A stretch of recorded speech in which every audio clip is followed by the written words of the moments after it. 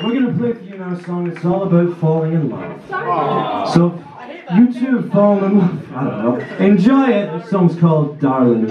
Ah!